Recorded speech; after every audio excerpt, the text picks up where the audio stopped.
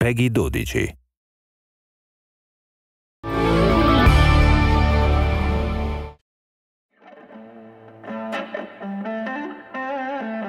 We've got a, a pretty good crew. My dad was a big Stevie Ray Vaughan and Jimi Hendrix uh, fan. So I remember growing up watching a lot of videos and listening to a lot of recordings of that, and so I always wanted to play.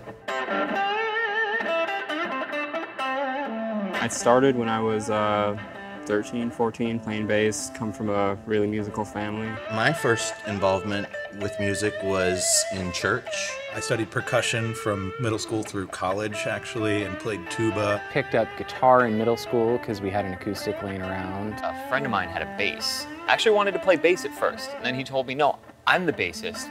You can't play bass. So I figured, all right, I'll pick up the thing that looks the most like the bass, and that happened to be the guitar. Never had any lessons, kind of, you know, was total power chord guy. Um, was in like a Nirvana cover band, all that good stuff.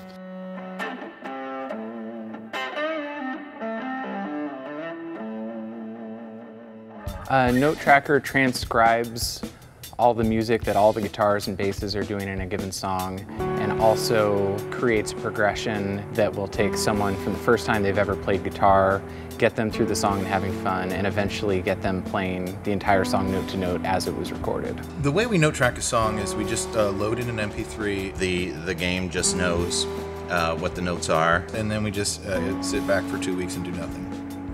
Uh, Uh, no, for real, it's actually a very time-consuming process, and it's quite the endeavor. Uh, we get uh, official assets from the licensors, we get the wave, the audio file, and then we have to first tempo map. It's beat mapping, and once we're done with that, we have to sit and listen to the recording and track every single note.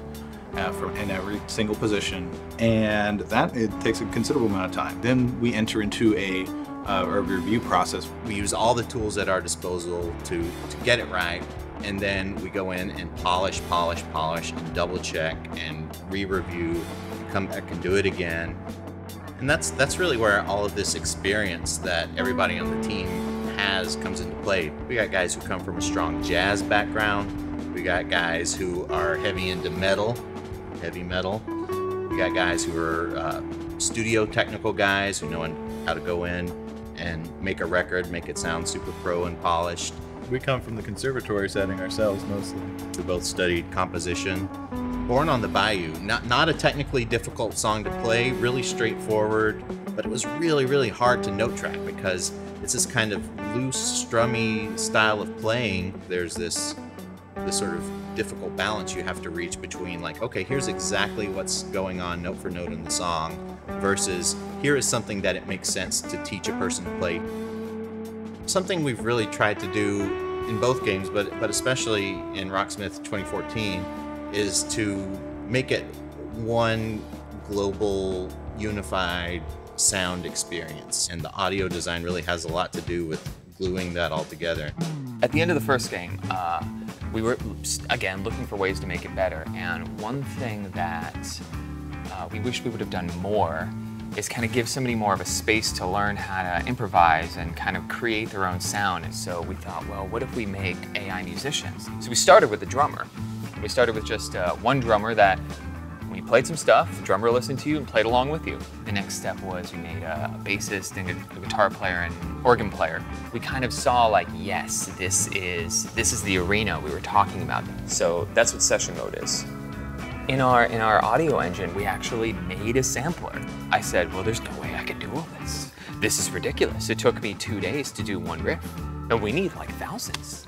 Immediately did I realize that we needed composers, and so we got six guys. Um, they make all the riffs that are going to power the sampler instrument.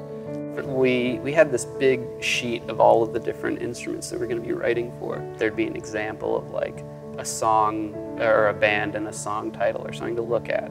And then when we'd actually get to those, he'd send us a few more songs. Yeah. Or we'd totally not listen to them and just do our own thing. It's interesting to not have the kind of standard writing process that you would think would work. It's Kind of like the tested, tried and true things don't work all the time, so there's a lot of experimentation at the beginning.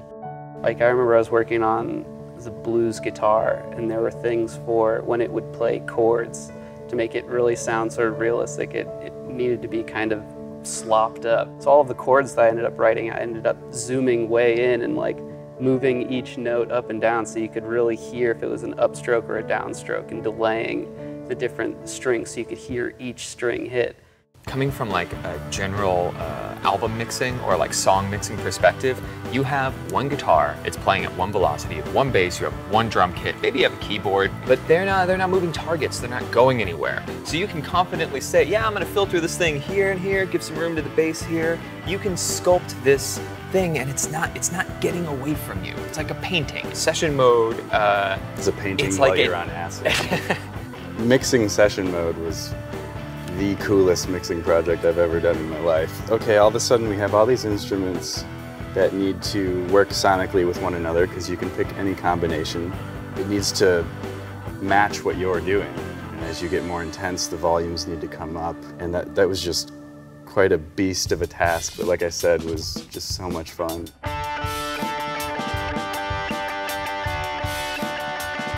There's a lot of people who know a lot of different things about a lot of different areas of music, and there's also a shared common vocabulary about music so that we can all talk and understand and know what we're saying and communicate that to the players so that they understand how musicians talk to each other.